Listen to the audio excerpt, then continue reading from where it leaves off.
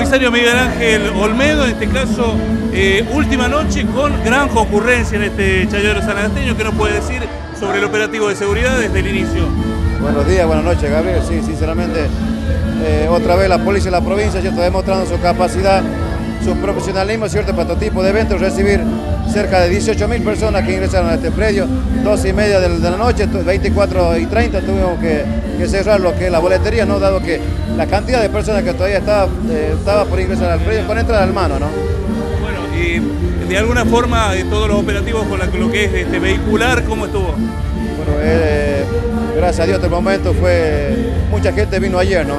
Contamos dando el resultado esta mañana, la novedad que, a nuestros superiores, ¿no? Hablamos de 14 automóviles demorados por 840, dos destinos contravencionales, cerca de 9.000 personas ingresaron acá al predio Chayero, ¿cierto?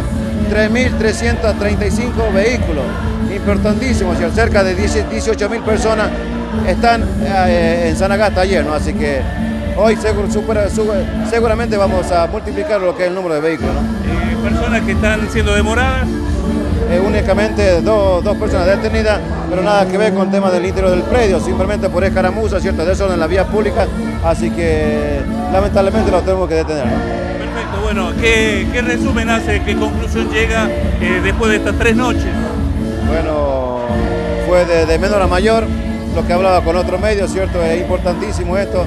Eh, la, gente, la gente se volcó masivamente en lo que es la última noche del Chayero Sanagasteño eh, más allá, ¿cierto? De, tuvimos, tenemos, ¿cierto? Un, grupo bastante convocante, como es que locura, así que seguramente la gente va a seguir comportándose, comportándose como hasta ahora, ¿cierto? Bien.